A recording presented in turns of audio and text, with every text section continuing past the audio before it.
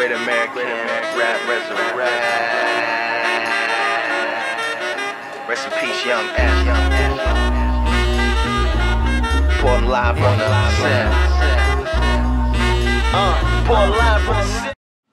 Social facilitation is the theory that people have a tendency to perform better on tasks that are simple or well learned with the presence of an audience.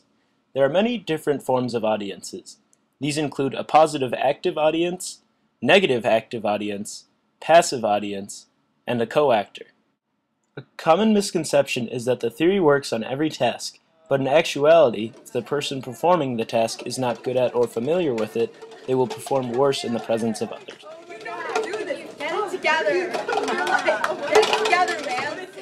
The theory of social facilitation was first discovered by Norman Triplett.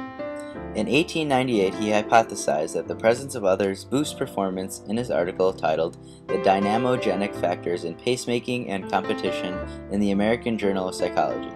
He had tested his theory by constructing an experiment in which cyclists were timed alone and then again in the presence of other cyclists. The results indicated that the cyclists had faster times in the presence of others. Norman Triplett's theory was proven by other psychologists who created similar experiments and added on to the theory. These psychologists include Gordon Allport and Robert Zajonc.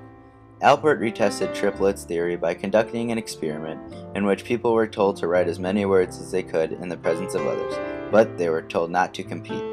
The results showed that the people performed better when they were with people who were performing the same activity. In 1969, Robert Zajonc conducted an experiment in which cockroaches were timed running through a simple maze and a complex maze. The roaches ran through each maze alone and again in the presence of other cockroaches. The results showed that having an audience improved performance in the simple maze, whereas having an audience decreased performance in the complex maze. Zajonc hypothesized that the presence of others increases arousal, which facilitates dominant, well-learned responses, but inhibits performances on more difficult tasks. Arousal and performance are keys to social facilitation. Psychologists Robert M. Yerkes and John Dodson found a correlation between arousal and performance in their Yerkes-Dodson law. The law states that as arousal increases, performance increases until it reaches a certain peak. After the peak, performance begins to decrease. This law is in agreement with social facilitation because when an individual is good at a task, they will not experience a high level of arousal and perform better in the presence of others. Individuals who are not skilled at the task experience a higher level of arousal and pressure when in the presence of people, causing their performance to decrease. Here we have our expert, Dr. John F. Murray, and professional tennis player Vince Spadea discussing social facilitation and the effects of a positive active audience. Talk about the second round at Wimbledon where Vince got the crowd going for him against uh, Igor Andre from didn't too, Russia.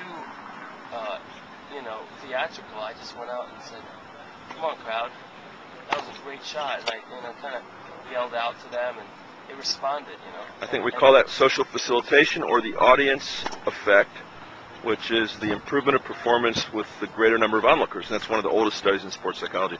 When, have you, when in your career have you found that the audience has helped you the most? If you think back to your 18 playing years on the tour, what can you I think of? I just think, you know, innately, you look at my tournaments in Delray Beach and in Mhm. Miami, where I'm from Right. there. Key and I Biscayne, you made the semifinals there a few years ago. A number of supporters there, and I feel good. At Wimbledon, the positive active audience there helped improve Vince's performance because it increased his arousal level to the optimal level.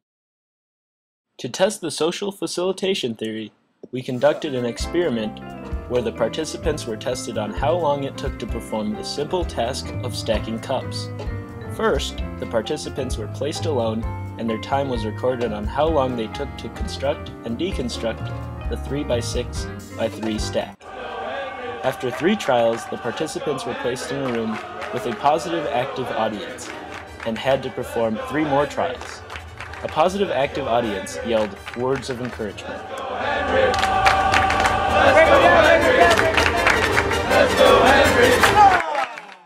After testing 25 participants, we observed that the average cup stacking time for each person decreased with the presence of an audience. Therefore, our results support the social facilitation theory because they indicate that performance of a simple task will improve with the presence of an audience.